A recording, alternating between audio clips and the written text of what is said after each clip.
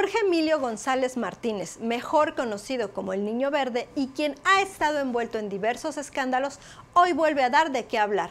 Después de que se diera a conocer la construcción de cuatro residencias de lujo en San Antonio, Texas. Esto mientras él está a la espera de su sexta candidatura a una diputación federal por la vía plurinominal por Quintana Roo. El senador con licencia por el Estado recibe un jugoso sueldo sin mover un solo dedo por Quintana Roo. Y al no ser quintanarroense, no le importa el bienestar de la entidad, solo vela por sus intereses propios.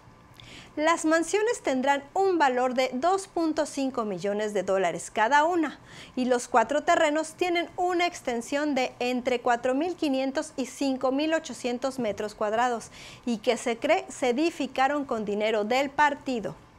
Según datos del Instituto Nacional Electoral, el financiamiento público para partidos políticos este año es de 6.788 millones de pesos.